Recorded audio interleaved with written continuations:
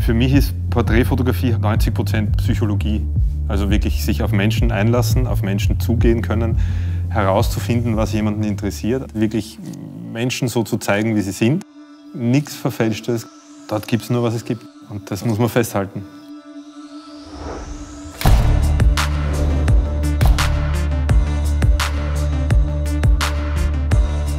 Ich bin Christian Anderl, ich bin Porträt- und Werbefotograf mit Studio in Wien und arbeite für internationale Kunden.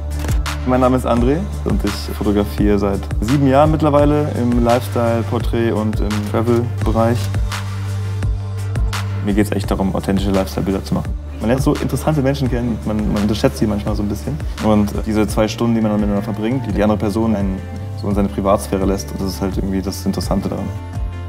Das ist das Spannende eigentlich, Porträtfotografen mit Burlesque-Tänzerinnen äh, zusammenzubringen, weil die eine Seite posen will und wir sind beide eigentlich auf der Suche die ganze Zeit nach den Momenten dazwischen.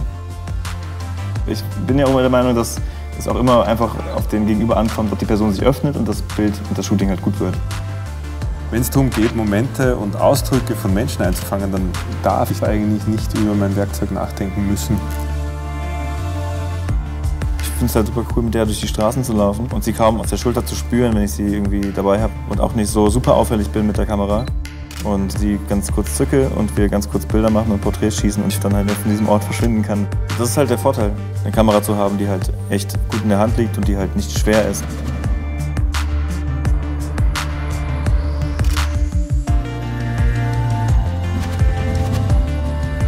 Ich nehme schon, wenn wir bei einer Location Porträts fotografieren und den Hintergrund und die Location mit reinnehmen ins Bild, ähm, erstens weitere Optik dazu und dann auch mehr Licht, aber nicht fürs Motiv selber, sondern eher für den Hintergrund.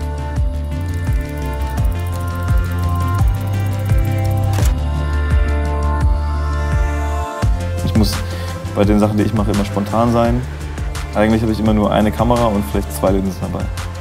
Aber das macht mir auch am meisten Spaß, spontan auf die Straße zu gehen, einfach das zu fotografieren, was gerade passiert. So. Das macht ja auch dann den eigenen Stil aus. Menschen und die Dinge, die sie beschäftigen, so weit kennenzulernen und so weit eindringen zu können oder so, so nahe herangelassen zu werden, dass man dann die Gelegenheit kriegt, mit einfachen technischen Mitteln was festzuhalten, was das abbildet, was die erzählen, erleben oder was die ausmacht, was die bewegt.